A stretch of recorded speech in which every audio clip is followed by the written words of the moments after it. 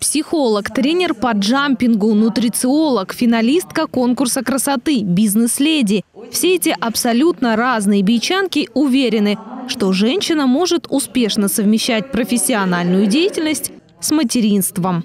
В ходе нового бесплатного проекта «Женские завтраки» многодетные мамы каждый месяц обсуждают актуальные вопросы. В этом пространстве я впервые. И здесь мне очень понравилось то, что вот такая легкая э, атмосфера, общение очень интересное. И самое главное, то, что мне нравится, это знакомство. Знакомство с новыми людьми, с такими же многодетными мамами, как я, да, потому что мы знаем, что у нас есть общие какие-то проблемы, общие точки роста. И здесь, э, что мне понравилось, то, что мы можем найти вот эти точки взаимодействия и быть друг другу полезны. Женский завтрак – это уникальный формат встреч, благодаря которому формируется сообщество многодетных мам. В ходе живого диалога участницы отвлекаются от повседневных дел и раскрываются. Это вот второй завтрак, на который я уже попадаю. То есть раз в месяц, я думаю, можно выделить час-полтора, чтобы прийти и пообщаться. Я считаю, это все-таки важно для женщин, особенно для многодетных, а именно поддерживающая среда. То есть мы погружаемся в основном в детей и выходить в свет, общаться, делиться своими какими-то впечатлениями, эмоциями. Это очень важно именно для женщин.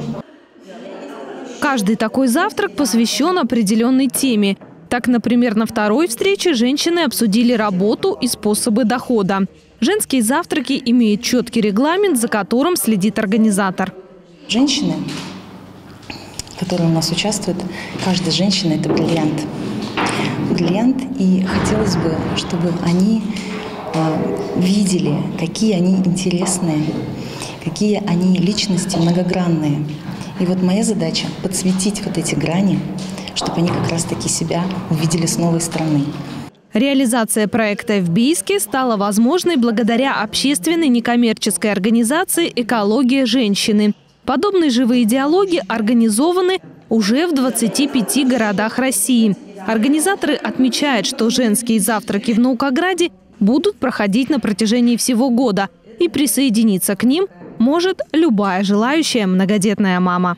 Дарья Федоркина, Илья Питков. Будни.